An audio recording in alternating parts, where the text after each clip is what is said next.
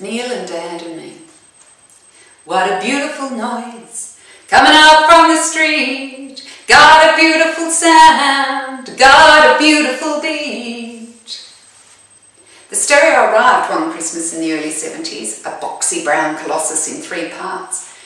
It was almost as high as me and sprawled along most of the exposed brick wall. His master's voice it was, with the dog looking down the trumpet of the gramophone. I was proud that my parents had chosen that one because I like dogs. Dad taught us how to handle the shiny vinyl, how to lift it from its flimsy sleeve without touching the disc, hold it by its edges and set it at the top of the metal spike in the centre. Then we snapped the clasp over the top to hold it. It was automatic, this stereo, so we only had to flick the lever at the side for the vinyl disc to drop all by itself onto the spinning rubber below. The robotic arm whirred as it rose, pivoted and swung out over the rotating record before lowering ever so gently onto its circling edge. And we waited through the lumps and the hiss and the crackles until finally the music came. It's a beautiful noise going on everywhere, like the clickety clack of a train on a track. It's got rhythm to spare. That's when Neil joined our family. Record after record of his appeared in the cabinet below the turntable. On Saturday afternoons, after the cars had been washed and the driveway hosed down, I'd enter the house with the beat of the music thudding across the boards under my feet. Dad would be sitting on the maroon velvet couch, head back, eyes closed, stubby beer in his hand, just listening. And I'd be enjoying it too, the feel of the music vibrating inside me, and seeing my father relaxed and happy and knowing why. It's a beautiful noise, and it's sound that I love, and it fits me as well as a hand in a glove. Yes, it does.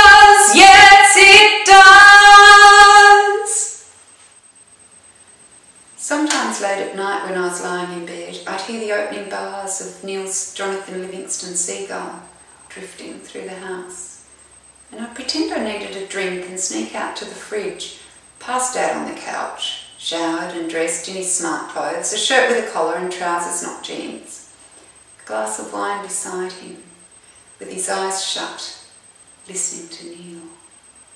Lost on a painted sky where the clouds are hung with a poet's eye. You may find him if you may find him. Then cassettes came out and Dad bought a player for his car. We felt the voomp, voomp, voomp as he drove up the driveway past our bedroom window. Sometimes he'd turn off the engine and sit on his own in the car, waiting, listening, until the song had finished. There, on a distant shore, by the wings of dreams, through an open door, you may know him, if you may know him. Then out he'd climb, keys jangling and whistling as he made his way inside. I turned eight and started piano lessons, and as I practiced, Dad would slip in and sit in his listening spot on the lounge. I'd play my scales, and when I finished and looked around, he'd be sitting with his head back and eyes closed. He'd open them and say, That sounds really nice. And I'd say, It's only scales. And he'd say, Here all night listening to it. And it made me smile and feel warm that I could bring such pleasure to my father. Dad built a holiday home on the coast, and late on Friday nights, always late, after he'd knocked off work and whistled while he changed out of his overalls and kept whistling as he showered and dressed and packed the car, we drove to the coast. And Neil would sing, What a beautiful noise coming up from the park. It's the song of the kids and it plays until dark. Eventually, my brother and sister and mother would fall asleep and there'd only be Dad and I awake. And the night sky overhead would be black and vast and filled with stars. And Dad would tell me about when his family used to camp along the same coast and fish in the river, and his mother would have the fire going on the bank, and they'd cook what they caught, and how nothing beats the taste of fresh fish like that. And I'd tell him about what I'd learnt at school that week, especially maths and physics, because they were the subjects that interested us.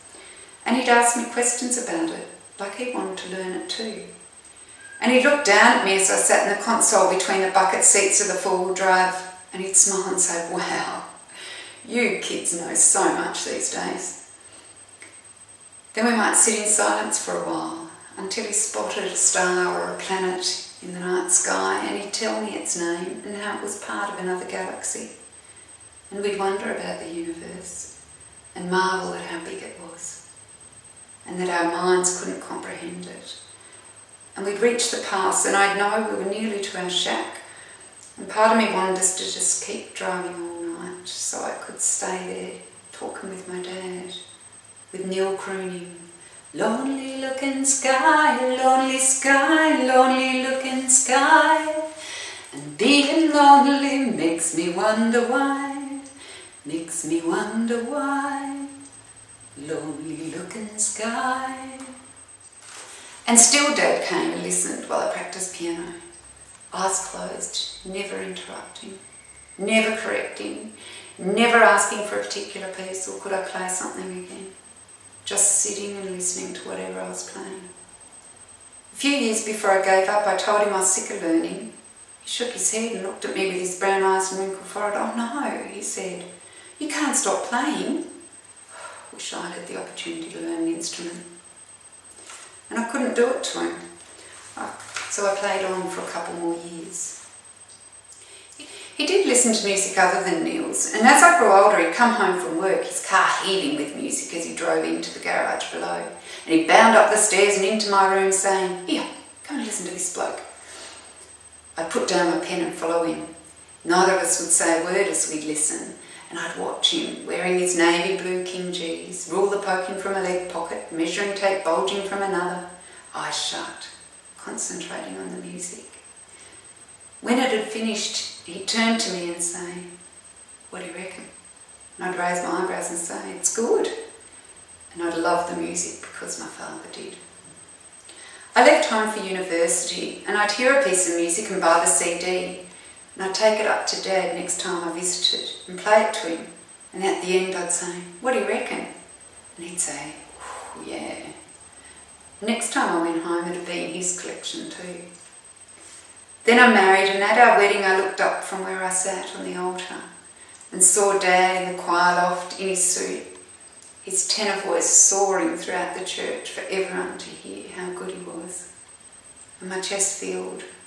And later at the reception, my brother sang as my husband and I waltzed, and everyone threw confetti and streamers over us. Then I took my dad in my arms, and we held each other and started dancing. Hello, my friend, hello. It's good to need you so. It's good to love you like I do, and to feel this way when I hear you say hello. And I started crying because I was leaving my dad for another man, and I didn't ever want to leave him. Then I had my own family and moved states, and I didn't see him as much. And then things happened and I didn't see him at all. And I couldn't listen to Neil. I think about you every night when I'm here alone and you're there at home. Quite a few years passed until I was able to see him again and by that stage he was well into his dementia. I worried that he wouldn't recognise me. He was sitting on a park bench, thinner and greyer, but as upright as ever. Dad, I said as I reached him. He looked up. Oh, he said, like he was surprised. Then he grinned and his arms came out and pulled me to him. And I pressed myself into his shoulder, feeling him and smelling him again and sobbing like a child. Hello, my friend, hello. Just called to let you know I think about you every night. He was different though, shaky on his feet and quieter, folding and unfolding the hanky he carried with him, looking from his plate to his fork as if he didn't know what to do with them, crying a lot, frightened of what was happening to his brain. Not long after that, he came to Western Australia to live with us. And when he went into the hospital, my kids took their instruments and played to him. We sat outside, the kids in me on blankets and Dad in his wheelchair. As they played, he closed his eyes and listened. And when they'd finished, he opened them again and clapped and smiled and looked at me and said, Aren't they amazing? Then he moved into the nursing home and I played Neil through the iPod speakers as I sat with him while he lay in his bed, legs writhing under the sheets, trying to sing along. I leaned back and closed my eyes, listening hard, straining to hear something in there, a remnant of that voice that had sang and whistled its way through my childhood. It's a beautiful noise, made of joy and of strife, like a symphony played by the passing parade. It's the music of life. Then I opened my eyes again and saw his gummy smile and wiped the glob of pureed pumpkin from his beard.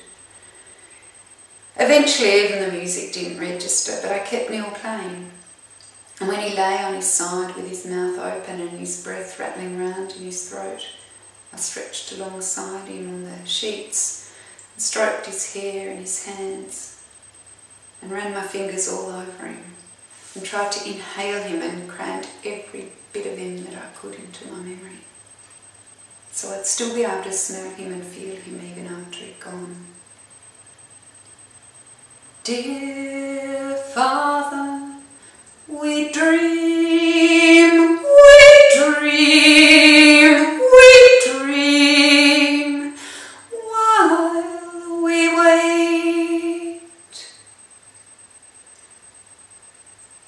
And as the end grew closer, I lifted myself out and sat on the chair next to him and trimmed his beard and cut his nails one last time and kept Neil playing as I let him go. Sing is a song in search of a voice that is silent. the one.